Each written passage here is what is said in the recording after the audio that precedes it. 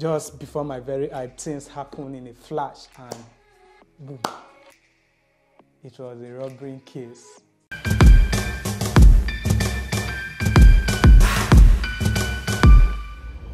Okay guys, so welcome back. I hope you've been enjoying the video that I've been dropping so far from 2023 down to this very moment that you're watching. I must say I'm very, very grateful for you that have been sticking to this channel, you that believed in me. Words can actually express how exciting I feel to have you in this channel. So in this video, what we'll be doing, we'll be looking at 2023 in retrospect. Like we'll be, we'll be looking at uh, my failures, my success, everything that I have to do with 2023. The true Nigerian, that's when you now go and start to be speaking BB grammar, English English. But if you're a true Nigerian, there's no how you speak English without putting pidgin English inside. And starting off, the story of 2023 actually began from uh, December 31st, D- December 30th, um, 2022. I was actually, I had a gig, uh, I had to go and uh, cover a wedding in Port Harcourt, River State. I was going from uh, Uyo, Akwa Ibom State to Port Harcourt. The journey, I to make the journey in the day, but based on cameras, I had to rent some cameras.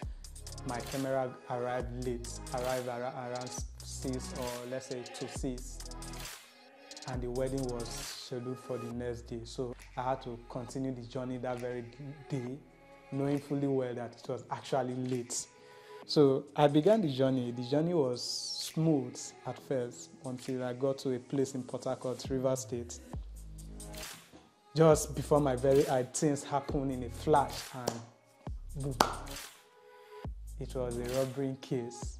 I was actually robbed of my my phone and my laptop and some other gadget. But thank God that uh, the camera that I rented and my own personal camera was actually safe because I used this black uh, bag in carrying it and it was dark, so they couldn't see it and it was safe.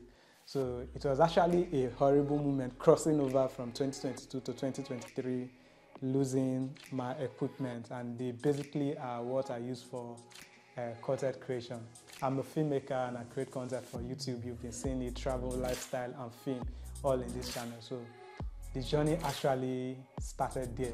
I could not say that minute that it's going to be a difficult, um, a difficult 2023, but I kept the faith going.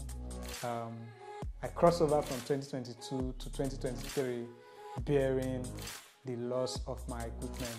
But honestly, I thank God that uh, the one that I rented from somebody was not touched.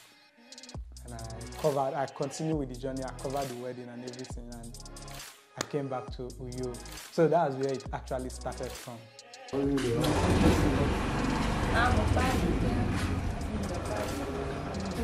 I'm a.